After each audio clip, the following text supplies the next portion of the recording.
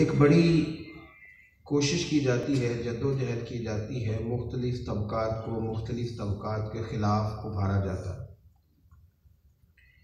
एक मुनज़म साजिश की जाती है और मुख्तलिफ़ ग्रोहों के बारे में हमारे जहन साजी की जाती है कि ये लोग ठीक नहीं होते।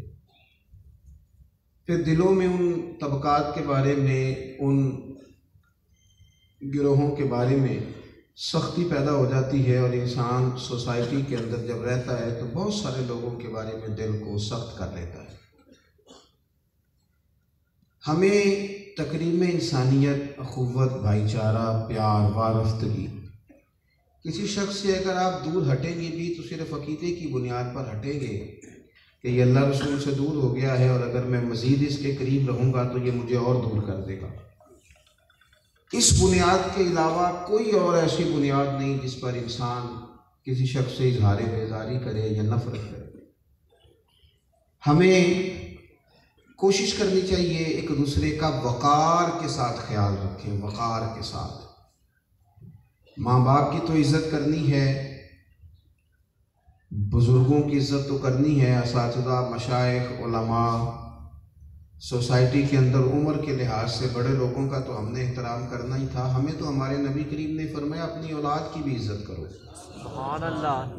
उसके साथ भी तुम्हारा लहजा तो ही नामेज ना हो। जब तुम अफराद के बीच उन लोगों को पुकारो तो तुम तकरीम के जुमलों के साथ पुकारो ताकि उन्हें ये ना महसूस हो कि हमारी इंसल्ट हो रही तो हीन ना करो।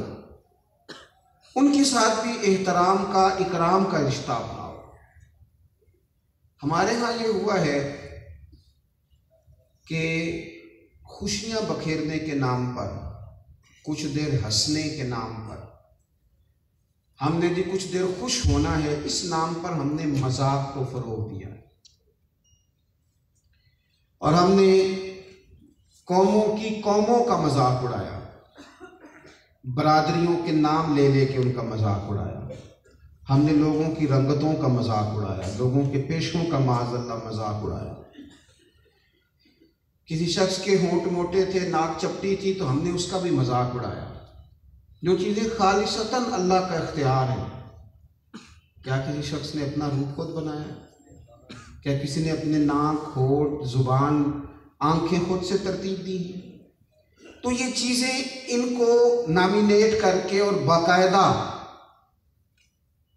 खास करके इन चीज़ों का नाम लेकर जब हम तोहन करते हैं, मज़ाक उड़ाते हैं और हतक अमेज, लहजा इख्तियार करते हैं तो महसूस होता है कि कौमें गैर महजब होने लग गई।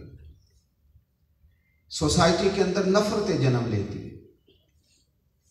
फिर ये मज़ाक आहिस्ता आहिस्ता तोहन का लहजा इख्तियार कर जाता है। इस्लाम खुशी से मना नहीं करता। सेहतमंद और सच्ची और संजीदगी वाला मज़ाक इसमें खूबसूरती हो, इसमें हुस्न हो। यानी नबी पाक सल्लल्लाहु अलैहि वसल्लम के सियाबा फरमाते हैं, हुजूर हर वक्त ही मुस्कुराया करते लेकिन उस मुस्कुराहट के अंदर चाशनी है, उसके अंदर प्यार है, उसके अंदर संजीदगी है। यानी कोई ऐसी बात भी कभी आती ना मुस्कुराने वाली तो नबी करीम सलाम फ़कत मुस्कुराते थे कह कहा लगाकर हुजूर हंसानी करते थे। यानी मुस्कुराहट भी संजीदगी वाली और दायरों के अंदर। लेकिन अगर मिजाज इस तरह का बन जाए कि इंसान मज़ाक उड़ाए तो ये इतना कभी फेल है कि अल्लाह ताला ने कुरान मजीद में फरमाया याजीना ला कौम मिन कौम। ए ईमान वालों, कोई कौम किसी कौम का मज़ाक ना उड़ाए।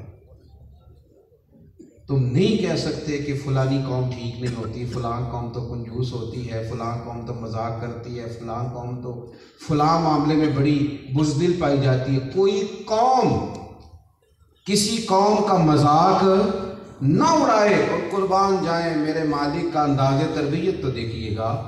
फरमाया, तुम तो उनका मज़ाक उड़ा रहे हो ना किसी कौम का। इससे बच जाओ, फरमाया, आसा यकून खैरम हो सकता है जिसका तुम मज़ाक उड़ा रहे हो, वो तुमसे बेहतर हो। अल्लाह की नज़र में उस कौम का क्या मैार हो और अल्लाह की बारगाह में उनका क्या मनसब हो जिनका तुम मज़ाक उड़ा रहे जाने वो कितने पाए के लोग हों? तुम हो कि उनका मज़ाक उड़ा रहे फिर ये आदत ख़ास करके औरतों में ज़्यादा पाई जाती है। वो कहते हैं, देखो फलां ने कपड़े किस तरह के पहने फलां ने मेकअप किस तरह का किया, फलां का चलने का अंदाज देखो, फलां को देखो, बात नहीं करनी आती, फलां के घर गए थे तो खाना नहीं ठीक पकाया। फलां देखो, घर में फर्नीचर तो रखा था, पर उनको तरतीब ही नहीं आती कैसे रखना है। फलां ने देखो, अपने बच्चों को कैसे सजाया, संवारा है, कुछ सलीका होता है छोटी छोटी बातें। और अगर आप नाराज़ ना हो तो ये तरबियत हमने करनी थी ना इनकी। मैं थोड़े दिन पहले किसी साहब का मकाला इसी उनवान पर देख रहा था तो वो कहने लगे कि एक डॉक्टर का मजमून मेरी नज़र से गुजरा है। डॉक्टर कहते हैं कि मेरे पास एक खातून जो एम एस सी है अपनी तालीम के लिहाज से, वो लाई गई और वो पागल हो गई है, नफसियाती मरीज़ हो गई क्यों? कि जो औरतें उसका रिश्ता देखने आती थी, वो इस इस तरह के सवाल करती थी। इस तरह का लहजा इख्तियार करती थी और इस तरह की बातें करती थी। उस बच्ची के पास माल भी था, दौलत भी थी, तालीम भी थी, सिर्फ़ रंग ज़रा सामला था। लेकिन लोगों ने इस तिरछी नज़रों से बातें की, इतने तल्ख सवाल किए कि वो पढ़ी लिखी बच्ची, उसने रिश्ता क्या करना था, बेचारी नफसियाती मरीज़ बन गई। वो दवा खाती भाई, ये कोई बाहर से थोड़े लोग आए, ये काम दुश्मनों ने थोड़ा किया। और जो तनकीद करने वाले थे, अगर आप उससे कहें तो बेवकूफ़ है, वो मानने को थोड़ा तैयार है। वो तो कहेगा, देखो जी, रिश्ता करना है, कुछ तो देखना पड़ता है ना।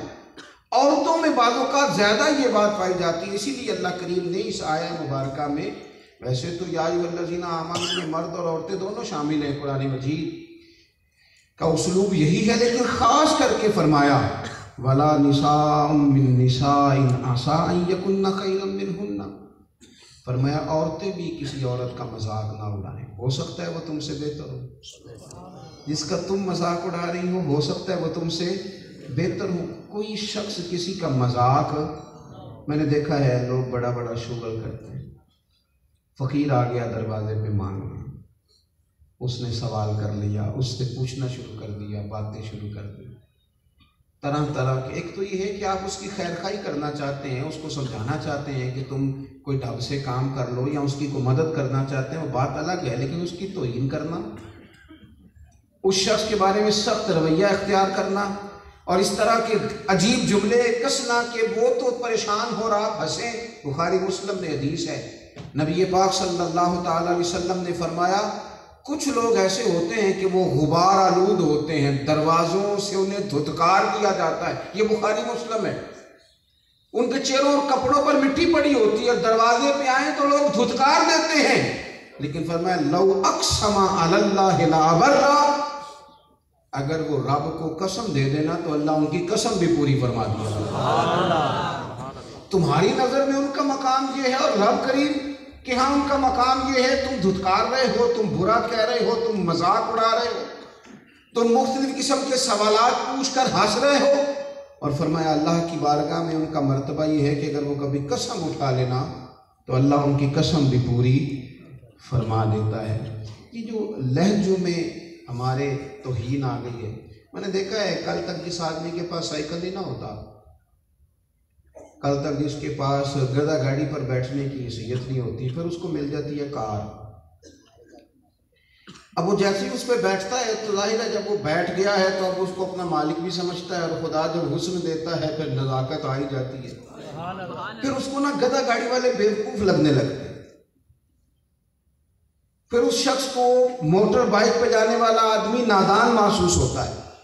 पर उसे लगता है कि ज़रूरत नहीं थी। ये चिंची पे जो लोग बैठे ही नहीं, चाहिए नहीं था कि इस पर बैठते। ये चिंची तो रोड पे चढ़नी नहीं चाहिए। पर उसे आहिस्ता आहिस्ता लोगों में कमजोरियाँ नज़र आती। कल तक जो खुद एक फैक्ट्री में बीस हज़ार का मुलाजिम था, जब वो किसी फैक्ट्री का मालिक बनता है तो फिर वो कहता है, तुम्हें क्या बताएँ, लेबर कितना परेशान करती है।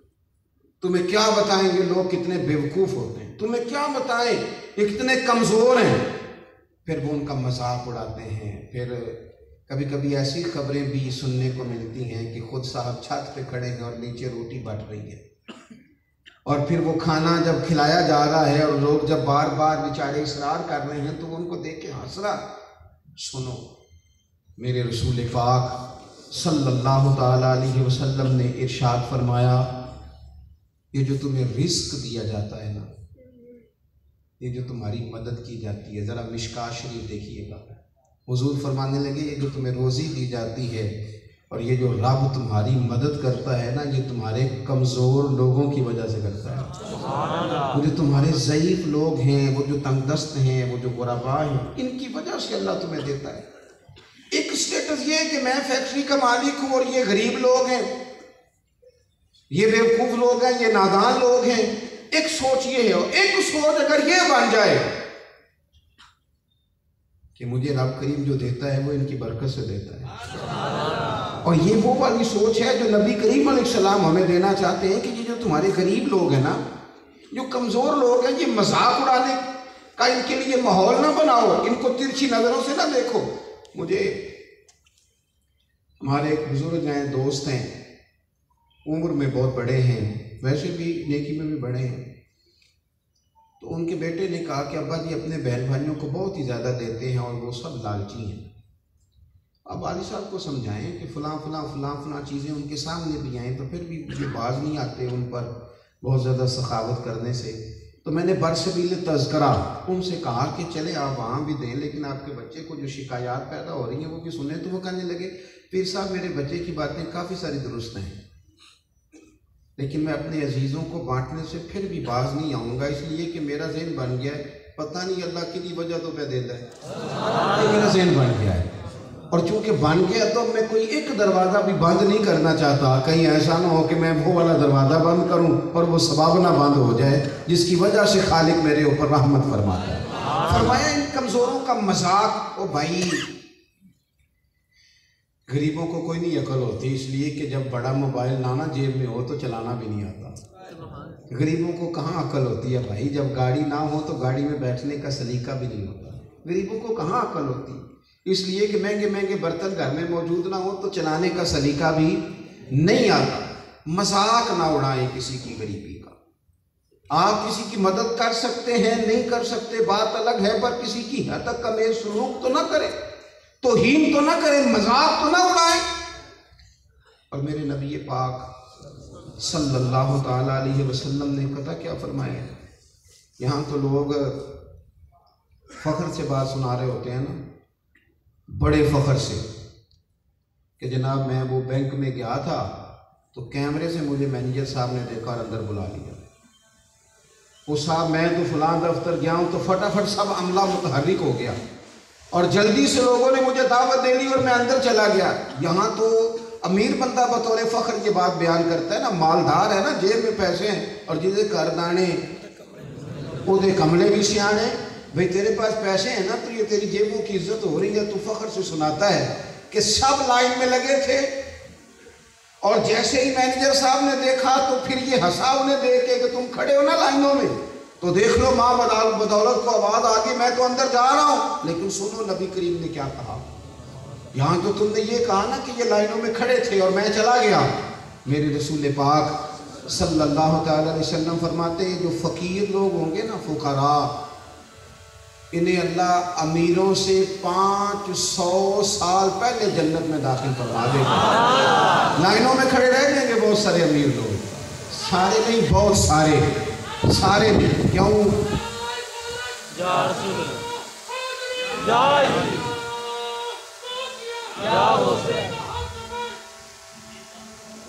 तो मेरे अज़ीज़, ये याद रखेंगे आपके सारे नहीं, बहुत सारे। इसलिए कि कुछ दौलतमंद ऐसे भी होंगे जो बड़ी जल्द जन्नत में जाएँगे, जैसा कि हज़रत उस्मान गनी जैसा कि हज़रत अब्दुलरहमान इबन औफ और वो भी होंगे जो जन्नतियों के इमाम बनेंगे, जैसा कि सैदना अबू बकर सिद्दीक। रज़ी अल्लाह लेकिन ये कि मज़ाक ना उड़ाया जाए, इस चीज़ को किसी के लिए बाइस तोहीन ना जाना जाए। मैंने देखा है, लोग, वो हमारे गाँव में एक शख्स, अल्लाह ताला ने उन्हें दौलत दे दी, पैसे दे दिए तो फिर वो ना हर शख्स से पूछते तो जूते कितने के लिए? ये स्वेटर कितने का खरीदा है? जर्सी कितने के लिए? मैं तो कल गया था वहाँ, बस वो मैंने तो वो टैग देखा है और जितने पैसे लिखे थे। मैं तो तुमने वैसे कितने के लिए? और जेन में ख्याल आता था कि मैंने तो ले ली ये कैसे ले सकता है? तो हमारे एक दोस्त थे, वो जब भी उनसे पूछते ना, कितने के जूते लिए तो कहते, मैंने तो पाँच हज़ार के लिए अब वो मैं उनसे कहता, क्यों झूठ बोलते हो यार? तुमने कहा ये तो सात, आठ सौ का है, आज से पंद्रह, बीस साल पहले की बात कर रहा हूँ। क्यों झूठ बोलते हो? कहते, तुमने उसके तेवर नहीं देखे? मैंने पाँच हज़ार का तो परेशान कितना हो गया? कि मैं अमीर आदमी उसके पास पाँच हज़ार कैसे आ गए? ये तो जूते महँगे, सिर्फ़ मेरा ही हक है। ये शायद महँगा लिबास फकत मैंने ही पहनना है। न करे, इन चीज़ों को बाई से इज़्ज़त ना बनाए। हज़रत मियाँ मोहम्मद बख्श साहब रहमत को एक शख्स तांगे पे बिठा के ले गया। तो जाके रास्ते में कहने लगा, हजूर, ये ज़मीन भी मेरी है, वो भी मेरी है, इधर भी मेरी है, उधर भी मेरी है। और देर तक हर बंदा नहीं मुतासर होता दौलतों से। हर एक को नहीं भाती जायदादें। तो मियाँ साहब थक गए उससे कहने लगे, मियाँ, बस भी कर। ठीक है ये सारा कुछ तेरा है, पर दो सवाल पूछने जवाब दे दे का हजूर पूछिए। फरमाने लगे, एक तो ये बता दे कि ये ज़मीन तुझसे पहले किसकी थी? और दूसरा ये बता दे कि ये तेरे बाद किसकी होगी? और दानशमंदा दा कम नाही, दिल दुनिया ते लाना इस बौटी लख खावत कीते जो कीता सो खाना किस चक्कर में पड़ा हुआ है। मेरे नबी पाक सल्लल्लाहु अलैहि वसल्लम ने फरमाया, अगर मुझे तलाश करना हुआ ना तो अपने कमज़ोर लोगों में तलाश करना। उन गुरबा में बाद मुहदसी ने माना ये किया कि सुबह क़यामत, हजूर गुरबा को उनका, उनमें, उनको एजाज देने के लिए उनमें बैठेंगे। फरमाया, मुझे तुम उनमें बैठा पाओगे। और फरमाया, यही वो लोग हैं जिनकी सबब से अल्लाह तुम्हें रोज़ी अल्लाह फरमाता है। अज़ीज़ दोस्तों मज़ाक नहीं उड़ाएँ। तोहीन नहीं करें। अंदाज ना इस तरह का अख्तियार करें। हज़रत सैदना अबू ज़ीफ़ारी रदी अल्लाह तुम फरमाते हैं कि एक दफ़ा मैंने कह लिया था, किसी वजह से मेरे मुँह से निकल गया सैदना बिलाल अबशी के लिए अबशन का बेटा। थे भी तो वो अबशन के बेटे हैं, पर मैंने कहा तो हजूर नाराज़ हो गए। महबूब करीम तक बात पहुँची तो हजूर नाराज़ हो गए और फरमाया, पता क्या? फरमाया तो मैं अभी तक जाहलीत की बातें मौजूद हैं? किसी गोरे को, काले पर अदमी को, अरबी पर कोई फजीलत नहीं सिवाय परहेजगारी के। आप फरमाते मैंने हज़रत बिलाल से माफ़ी भी चाहिए और उनसे कहा, अपना पैर मेरे सीने पर रखो ताकि मैं बताऊँ, जब अफशन का बेटा कलमा पढ़ ले तो मदीने वाले उसे कितनी इज़्ज़त अदा फरमा देते किसी शख्स की तोहीन अपने अंदाज में लोगों, अपने लहजों में लोगों के लिए प्यार पैदा करें हज़रत अब्दुल्ला इब्न मसूद रदी अल्लाह तु से आबी हैं। और इतने खूबसूरत से आबी हैं कि नबी पाक सल्लल्लाहु अलैहि वसल्लम ने फरमाया कि अब्दुल्ला इब्न मसूद उसी तरह कुरान पाक पढ़ते हैं जिस तरह मेरे ऊपर नाजिल हुआ। हजूर ने फरमाया इनसे कुरान सीखा करो। और जनाब अली मुर्तदा शेर खुदा रदी अल्लाह तु फरमाया करते थे कि अब्दुल्ला इबन मसूद रदी अल्लाह तु का कुरान मजीद ऐसा है जो दिल को लुभाता है। मज़ा आता है उनसे तिलावत सुनने का। पता क्या फरमाया करते फरमाया करते थे इंसान तो इंसान रहे। मोमिन तो मोमिन रहे, मुसलमान तो मुसलमान रहे।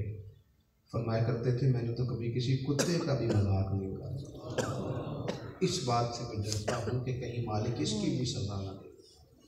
हमारे स्टेजों पर मैंने ये हाल देखा है कि मुकद्दस हस्तियों का मज़ाक माजा लहजा इस तरह का, अंदाज इस तरह का। वो बात कर रहे हैं, हुजूर की, औलाद की, असहाब की और किसी एक जगह छुप के वो दूसरे के बारे में इस तरह का लहजा इख्तियार कर रहे हैं। इस तरह की ज़ुबान और ये अल्लाह के बारे में इस्तेमाल कर रहे हैं जो बाजारी होती है, जो आम शुरफा भी इस्तेमाल नहीं करते, वो लोग बड़े लोगों के बारे में इस्तेमाल कर रहे हैं। और जब वो मज़ाक उड़ाते हैं और जब वो अल्लाह के नेक बंदों के बारे में लहजे के अंदर बेदबी पैदा करते हैं तो बजाय उनको समझाया जाए तो उसका भी लुत्फ लेते हैं। कहते हैं, आज तो मज़ा आ गया आज तो कमाल कर दिया आज तो क्या नुकता बयान किया और खुदा के बंदो, इस्लाम तो सिंजदा लोगों का दीन है। ये तो खूबसूरतियाँ बयान कर रहे और आप किसी शख्स का किसी अंदाज में भी, हत्या के दीन ने आर दिलाने से भी मना किया, आर भी नहीं दिलाएँगे आप। ना किसी को आर दिलाएँगे कि तू फलां खानदान से है। ना इस बात की इजाज़त है कि आप ये आर दिलाएँ कि तू तो फलां ने पहले फलाना गुनाह करता था। अब हम तुझे नेक कैसे मान जाए? तू तो फलां होता था। आर दिलाने को नापसंद किया। हमारे यहाँ एक आदमी को 20 साल हो गए गलती छोड़े 15 साल हो गए तोबा किए। सालों बीत गए, अब अल्लाह अल्लाह करते हैं वक़्त पे मस्जिद आता है। ज़मीन गुनाह भूल गई हदीस पाक में मौजूद है, आसमान भूल गया, फरिश्तों के दफ्तर से वो गुनाह साफ़ कर दिया गया, पर लोग भूलने को तैयार नहीं होते। तो तू तो फलाना होता था, तू तो फलां होता था। नबी करीम सलाम ने फरमाया, जिसने किसी भाई को उसके गुनाह पर आर दिलाई, अल्लाह सजा के तौर पर मरने से पहले पहले इसे उस गुनाह में मुबतला कर दे। क्यों तुमने आर दिलाई? जब रब ताला के साथ उसका मामला है और वो माफ़ी मांग चुका है और ज़माना जानता है, तुम कौन होते हो आर दिलाने वाले? वो तुम तो फला होते थे ये बात तुम्हें करने की किसने इजाज़त और हमारे यहाँ तो बाकायदा सियासी जमातों ने वर्कर तैयार किए। जो आग दिलाएँगे पिछले पिछले बाप दादा तक जा जाके लोगों की तोहीन करेंगे, नुक्स निकाल निकाल के लाएँगे, ऐब जो ही करेंगे, लोगों की कमजोरियाँ बयान करेंगे। बाकायदा सोसाइटी के अंदर एक दूसरे के खिलाफ महाज खोले गए, लोग तैयार किए गए। ओ दोस्तों, अबू जाल से बड़ा तो दुश्मन कोई नहीं हो। उससे ज़्यादा तकलीफ़ तो कोई नहीं ना देगा इतना सख्त तो कोई नहीं ना होगा। लेकिन देखो, किस सोने दीन के मानने वाले हो। किस अजीम रसूल का हम कलमा पढ़ते हैं। अबू जाल के बेटे जनाब इकरमा रदी अल्लाह तु ने कलमा पढ़ लिया। मुसलमान हो गए। हजूर ने क्या फरमाया? बड़े सारे दुख होते हैं जो बंदे को भूलते नहीं। कुछ लोगों की ज़्यादती ऐसी होती हैं जो भूलती नहीं। लेकिन जब अबू जहल के बेटे ने कलमा पढ़ लिया तो हजूर ने फरमाया, आज के बाद कोई इसके सामने इसका बाप का नाम लेके इसे आर ना दिलाए। इससे तकलीफ़ ना दे, इसे तकलीफ़ होगी। इसके बाप के जो जुल्म थे, वो उसके यहाँ तक हजूर सोचते यहाँ तक नबी पाक सलाम एहसास करते हैं। और यहाँ बहू के बहू के ख़ानदान में से किसी से गलती हो गई। तो उसको कहा जा रहा है, हमें पता है, वो तेरे चचा के बेटे ने फलां जगह फलां के साथ क्या किया? हम तुम्हारे ख़ानदान को जानते हैं। वो तेरे बाप पर एक दफ़ा इल्ज़ाम लगा था, वो दो हफ़्ते के लिए जेल गया था। यहाँ तक हम आर दिलाते, तकलीफ़ देते, बातें याद करा करा के लोगों को अजियत में मुबतला करते। ये काम ना करें आर ना दिलाएँ। हाँ किसी शख्स का ऐप सिर्फ़ उस सूरत में बयान करना उसकी इजाज़त होती है जब आपने किसी को आगाह करना हो कि यार ये इस बंदे में, और वो भी बड़ा मोहताज सा लहजा हो, इस बंदे के शर से तुझे बचाना है। इसके अंदर फलां फलां कमी पाई जाती है तो इससे बच।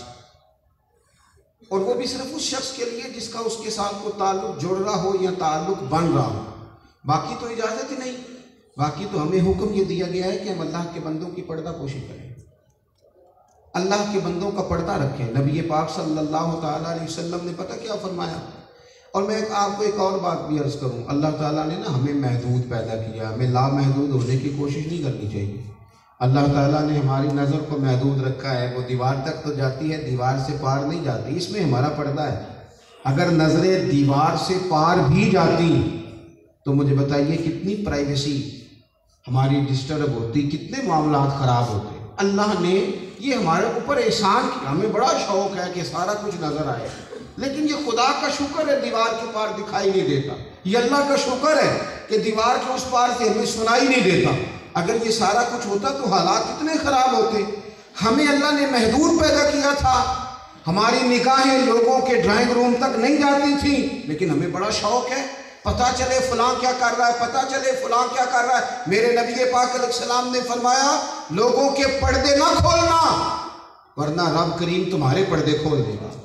कहीं ऐसा ना हो कि अपने कामों की बुनियाद पर तुम बेआबरू हो जाओ पर्दा पोशी करो, लोगों के ऐबों पर पर्दा डालो, किसी शख्स के लिए चशम पोशी करो। या रसूल अल्लाह क्या मिलेगा?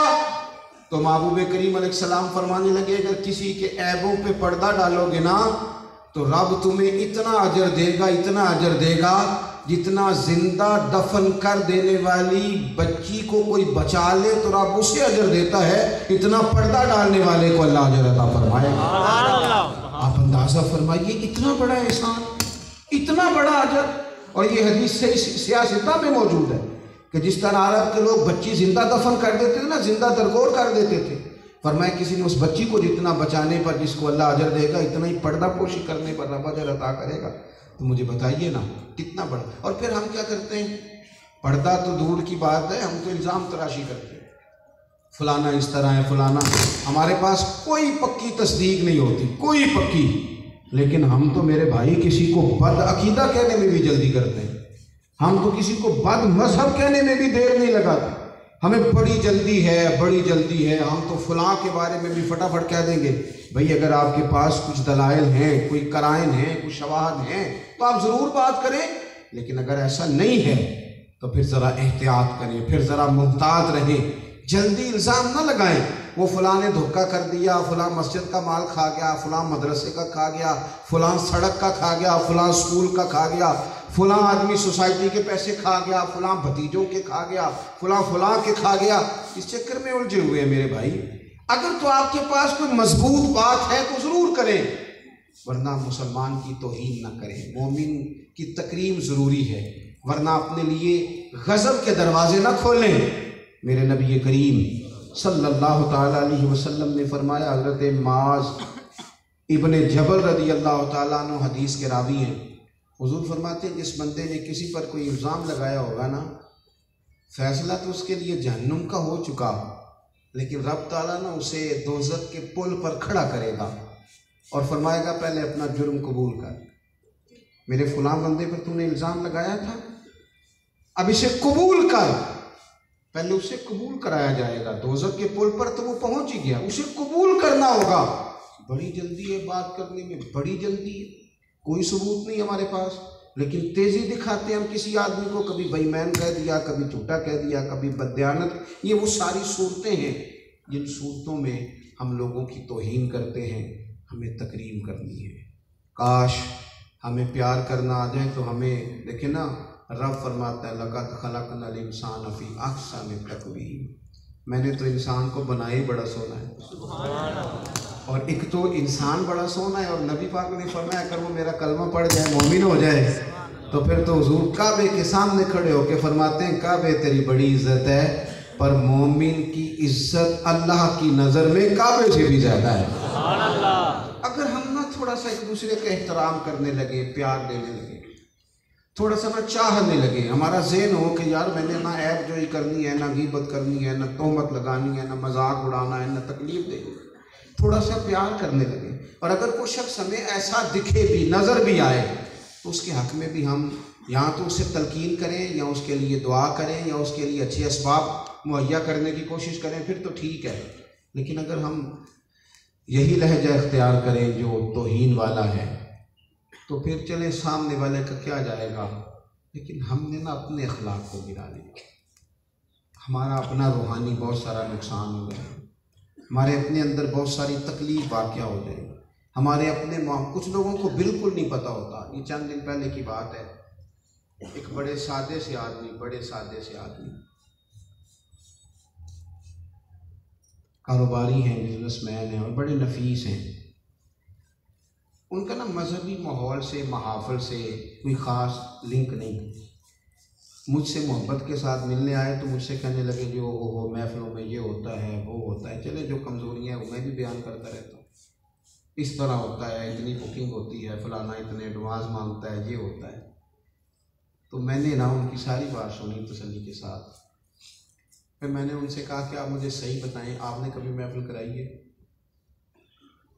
कहने लगे, नहीं। मैंने कहा, कभी कराने वालों की मुशावरत में आप बैठ? के कहने लगे, नहीं। तो मैंने कहा जितनी बातें आपने की, ये सब सुनी सुनाई इसमें कुछ हकीकत ज़रूर है, पर ज़्यादा नहीं। अब हमने क्या किया? जिस शोबे का बिल्कुल पता नहीं ना। बिल्कुल कोई ताल्लुक ही नहीं। लेना देना ही नहीं दूर दूर तक। उस शोबे के बारे में भी हम बात करना चाहते मैं एक मदरसा चलाता हूँ।